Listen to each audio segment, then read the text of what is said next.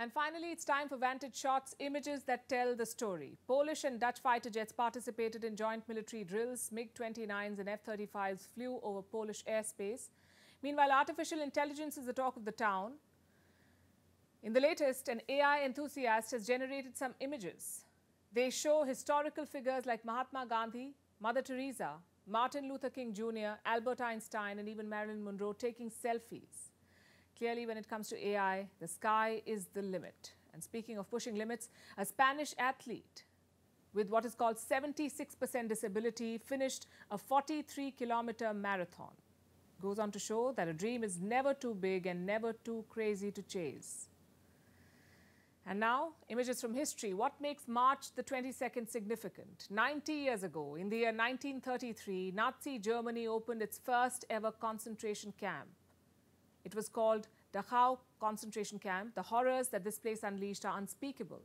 Its gates were the first to be engraved with the infamous phrase, work sets you free. It is believed that as many as 41,000 people perished here. We leave you with these images. Thanks for watching. We'll see you tomorrow.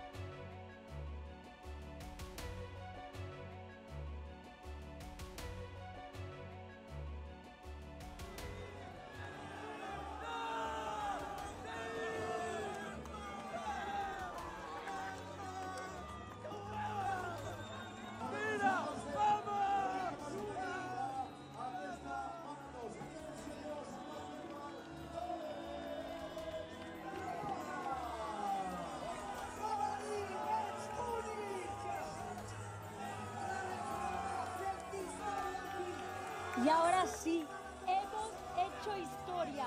Me he convertido en la primera persona del mundo con un 76%